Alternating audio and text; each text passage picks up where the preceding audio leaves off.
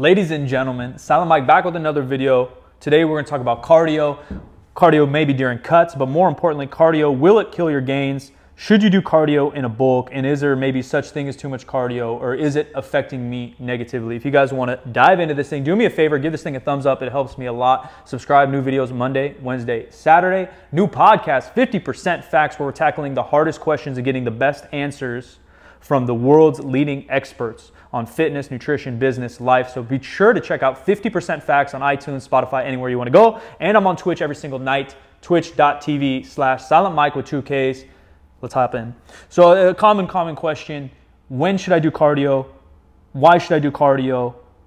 And will it affect my lifts and what I'm getting into? And I imagine the majority of you guys are either into some kind of strength sport, whether you compete in powerlifting or not. You're just interested in getting stronger and maybe the squat, the bench press, and deadlift.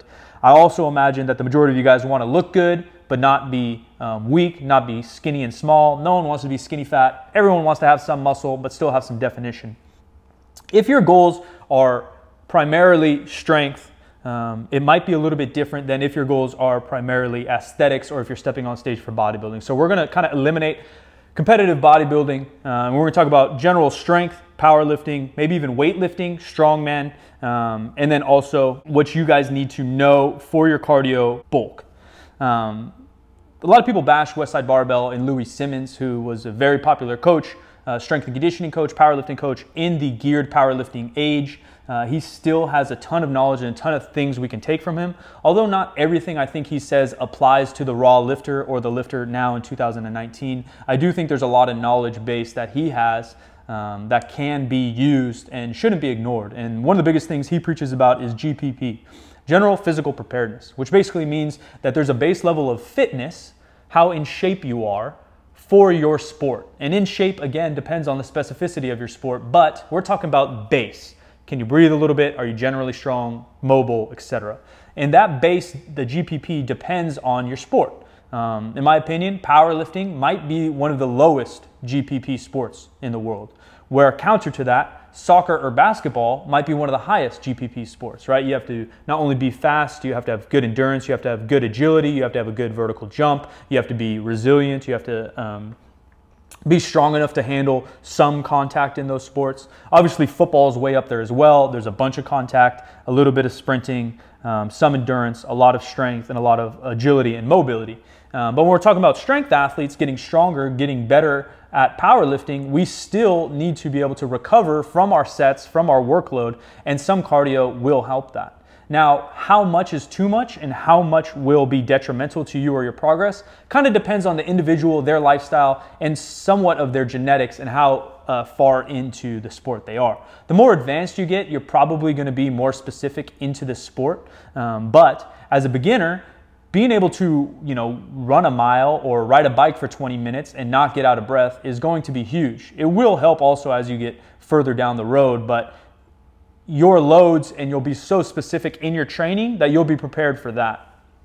I think for general health, cardio is going to be amazing no matter what. Obviously, it's training of your heart, your bloods, your, your lungs, and that's going to help live longer. And obviously, I think it has a lot of mental and physical benefits. For me, mentally, riding my bike, commuting to work, commuting to the gym, commuting around town has helped me in a lot of ways um, think more clearly and obviously shed some fat. I'm in a pretty decent place right now I'm not bulking, I'm not cutting, um, but I'm paying attention to my nutrition. I'm lifting pretty dang hard and adding in that NEAT, that little bit of cardio, the little bit of extra energy a day has allowed me to become leaner while still maintaining, if not gaining, some of my strength back uh, in both powerlifting and weightlifting.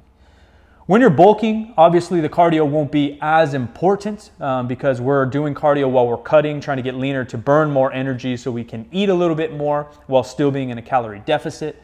Um, but while you're bulking, keeping in some kind of cardio so then uh, you can recover. Sometimes a light walk, a light bike does a lot for circulation, again, mentally and physically, and allows you to recover from that training and allows you to handle more volume in training. Although the lifting, you know, 10 sets of two on deadlift and going for a 20 minute bike ride are very different energy systems and very different skills, um, they can complement each other.